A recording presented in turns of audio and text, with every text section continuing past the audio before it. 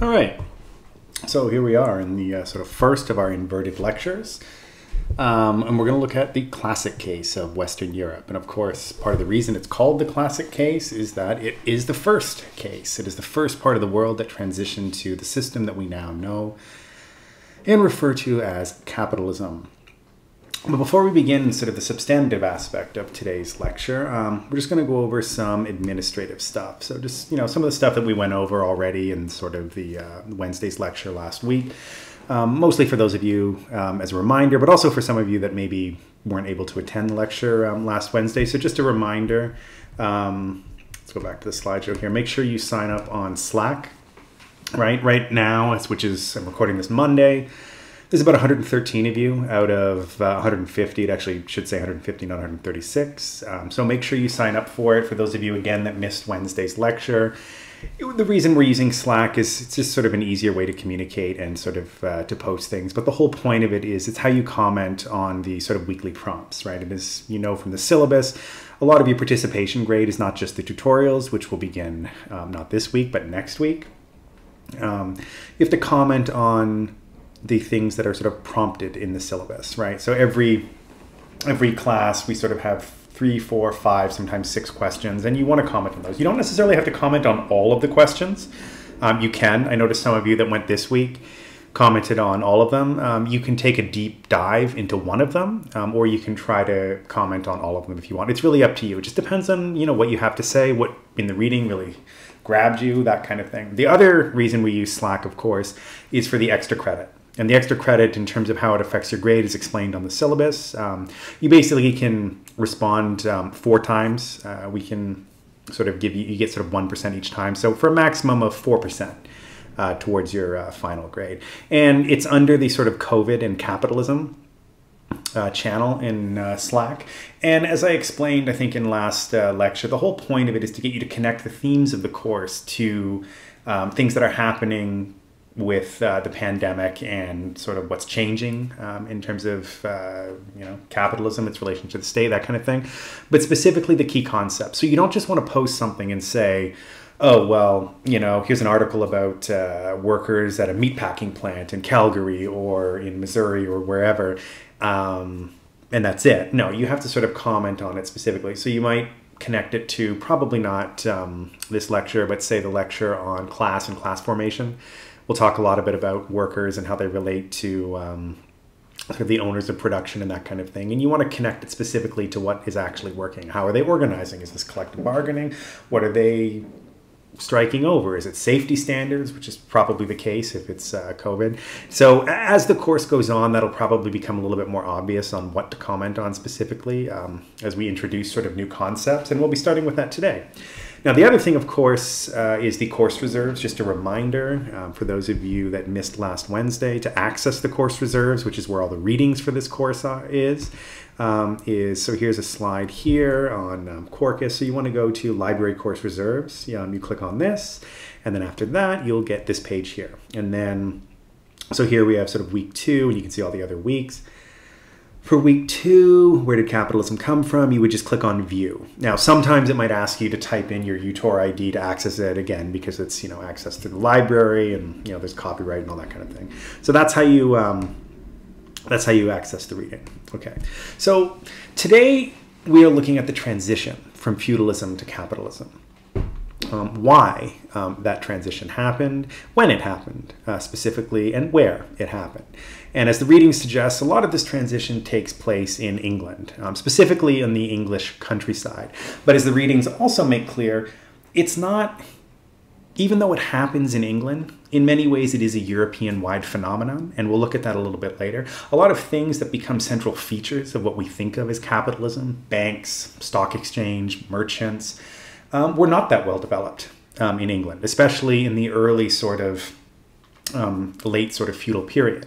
Um, what was developed in England and what did change in England was specifically relations between producers and expropriators on the English countryside. Um, but we'll get to that later, okay? So you don't have to understand too much of that right now. So let's look at the next slide here. So by way of introduction, what we're going to do is look at sort of four key concepts today that you'll have to know. Um, three of them are a bit more important. Um, and the fourth one. So we're going to look at historiography, the mode of production, relations of production, and also means of production. Now, that will come a little bit later when we look at specifically the emergence of the factory system. But I, I just want to implant the idea of what means of production uh, is today. And it is distinct and different from mode of production, even though they sound similar. Again, if you guys have any questions, feel free to email me. I'll have office hours also uh, this Wednesday from 11 till 12. Basically, I'll send out um, a Zoom, you know, just like I did for the first uh, lecture. I'll send out a email of, you know, how to access my office hours, and it'll be run through Zoom, same kind of thing. Okay, so first let's look at uh, historiography. So historiography, many of you are probably familiar with this concept, especially those of you that have, um, you know, our second, third, fourth year uh, students. Historiography, as I've got here, is it's the history of history, right? It's not just about the facts, it's the debates amongst historians. Historians, as most of you are aware, don't agree on everything, right? They have vigorous debates on why some things happen, when certain things happen. And a lot of that um, has to do with sometimes um, different archives and different sort of primary documents that they were able to found, but more often than not, it has to do with how they're approaching a particular episode or event in history. What analytical lens, what theory of history are they using, right? What sort of conceptual building blocks are they going to look at? So, for example, if you are looking through the lens of gender, right, that might affect um, the way you think of a specific thing. So, for example, if you're going to look at gender in the development of capitalism in the 19th century, let's say, one of the things that even Marx um, often overlooked was say wage was sort of unpaid wage labor. And um, for those of you you can probably guess a lot of it is in child rearing right? Most women who have children in the 19th century still to this day there's a lot of things that are going on in terms of work uh, in the production and raising of a family but these things are sort of unpaid right so looking at it from a gender lens fills some gaps um, in the story and there's other ways to look at it. You could look at it from the perspective of class conflict. You could look at it from the perspective of social history. You could look at it from the perspective of an economic lens, right? So there's different ways to look at it. So for our purposes, um, one historian here that is significant is Marc Bloch. Now, he was a French historian. Um, was at the Sorbonne for a number of years uh, during the 1940s. Uh, even though he died in 1944, he actually was involved in the French resistance against the Nazi occupation. But for our purposes, he wrote sort of two um, works um, 1920, 1939, Roi et Serf, which is just kings and serfs, and Feudal Society in 1939. Now, what's significant about Marc Bloch is that he was basically the, one of the fathers of social history. Specifically, he founded a school of thought in um, French historiography, um, with what we often refer to as the Annales School of History. Um, in 1929, he, with a few others, founded a journal called the Annales d'Histoire économique et sociale, basically the annals of history and uh, the annals of economic and social history. And it sort of had two things, right? Prior to the 1920s and Marc Bloch, most of history operated in what's called the Rankian tradition. Now, what that means is when history developed as a profession in the 19th and early 20th centuries, most historians look to the example of Leopold von Ranke, who is a historian, a German historian, mostly based at the University of Göttingen um, in Germany.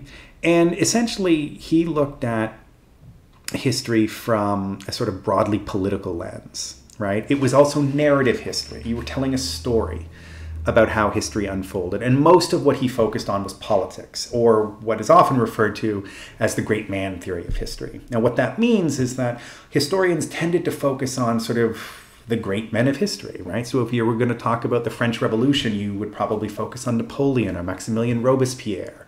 Or if you were going to look at the American Revolution, you'd focus on people like Washington and Jefferson, the leaders of armies and, you know, um, government officials, presidents, uh, that kind of thing. And so by the 1920s, what Bloch does is he says, no, no, no, actually, what we should be focusing on is everyday regular people. And for a number of reasons. One, most of history is the history of everyday regular people. Imagine if you looked at history 150, 300 years from now, and you were looking at our time, and all you did was focus on people like Jeff Bezos, or Barack Obama, Donald Trump, Boris Johnson, Xi Jinping, right? All of these leaders, right? You would get a certain picture of how society functioned, but 99% of the world doesn't live like those people. They have different concerns, right? They don't have as much power as they do. So you really have to focus on individuals in all aspects of society. And this is what happened in the 1920s with the Annales School. And it wasn't just about understanding the way history moved, but also giving life um, to the way history functioned in sort of everyday life. Right? What did you? How did you? You know, how did things work? What was the typical day of a worker? What was the typical day of um, a peasant or somebody who toiled in the fields? Right? It's a very different picture of society if you only focused on sort of the elites of society. Things would look a lot better. And even if you understood that a lot of people didn't live like that, without seeing them, without seeing the struggle of everyday people, leaves a lot of gaps in the story, right? Imagine looking at the history of the United States and not looking at the history of slavery, or not specifically looking at how slaves spent their everyday life. Um, it paints a completely different picture of what American history would look like. The other thing that the Annales School did that, for our purposes, is important is they tended to look at history over what's referred to as the kind of longue durée of history, right? Long periods of time. Sometimes historians will focus on very specific episodes, right? If you want to understand, say, say you're looking at the Cold War and you're interested in the Cuban Missile Crisis, right? It's, it's 13 days in October. Well, what the Annales School does is it looks at sort of history over the longue durée, which is sort of what we're doing in this course, right? We're looking at the history of capitalism really going back to the 14th century. So we're talking six, 700 years of history. And for the purposes of this lecture, when I talk about feudalism, we're also going to look at, I mean, just very, very briefly, sort of the end of the Roman Empire. So we're talking 1500 years where we're looking at how economic systems, starting in Europe, specifically Britain in the 14th century, how that changes and emerges to become the system we call capitalism. And you can't really understand how capitalism gets here without going back that far. So this is sort of also another legacy of the Annales School. Um, and it's also important to understand, as I said earlier, that historians disagree.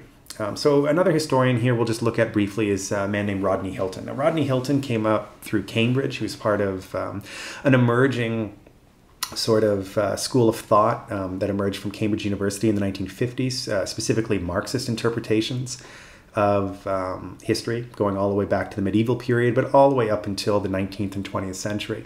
And as you can probably guess, for those of you that have any familiarity with sort of Marxist theory and thought, the focus is on class conflict, right?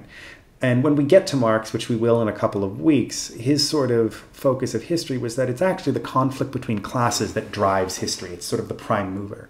And Rodney Hilton was very much in that tradition. So in the 1970s and the 1980s, I mean, he was publishing in the 1950s as well he basically argued that the, the key thing in the transition from feudalism to capitalism was class conflict between producers and appropriators. And what I mean by that is, say, people that work the land versus people that expropriate value from the land, right? Peasants and lords, that kind of thing. Conflict between them created the conditions that led from feudalism to capitalism. Now, what I mean by prime mover is that there's something that without which it wouldn't have happened. Now, of course, as most of you have probably guessed at this point, in history there are many reasons why a specific event unfolds the way it does. And often what historians disagree on is like, yeah, okay, I understand there's many different kinds of, um, you know, events, uh, people, classes that contribute to a specific thing happening, but what is the prime mover? And for Rodney Hilton, that was class conflict. So it just, just gives you an under, sort of a sense of um, how historiography works. So let's look at the other concepts. Now, the other concept of mode of production and means of production. Now, mode of production is, is essentially, it's not exactly the same thing, but similar to the kind of economic system. So the mode of production would be feudalism. Another mode of production would be capitalism. Now, this is a little bit different from the means of production. Now, the means of production is how things get produced. What do you need in order to produce something? So, in the case of feudalism, a lot of the means of production was land. Who owned land? Who had access to land? Maybe some tools, but it was mostly land.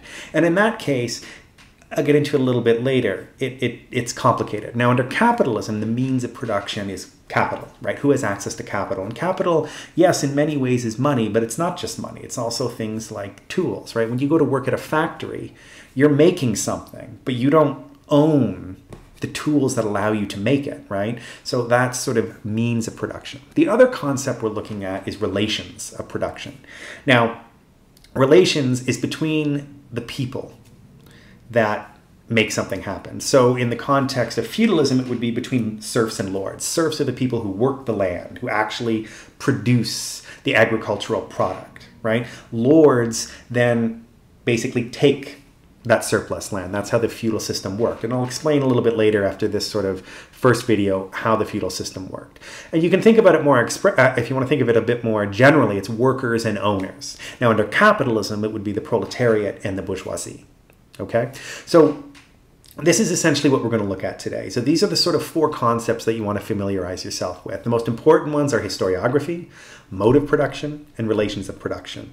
You want to understand means of production a little bit, but we'll get into that a little bit later in a few lectures from now. But I've just put it in here to introduce the concept. Okay. So this is these are the key things to look at. So I'm going to pause here, and in the next video, we'll look at what feudalism is as a social and an economic order. And that's sort of key as well for those of you that have studied, say, economics, or maybe those of you that come out of management, you tend to look at things, understandably so, through a purely economic lens, and that's okay. Um, you can't really understand the history of capitalism without that economic lens. But what you also want to do is add another layer to the picture of the history of capitalism. And that's a lot of what we're going to do in this course. You have to understand capitalism as also a social system. It's not just an economic system, it's also a social system. If you think of your daily lives today, right, every aspect of what you do is in some ways mediated through the rules and laws of capitalism, right? Whether it be the market or what have you, right? So there's a social relationship between worker and boss, under feudalism between serf and lord, that kind of thing. All right, so that that sort of concludes the first sort of um, um, bit of the lecture, and I'll pause the video here, and then so the next one we'll look at specifically feudalism as an economic and social system.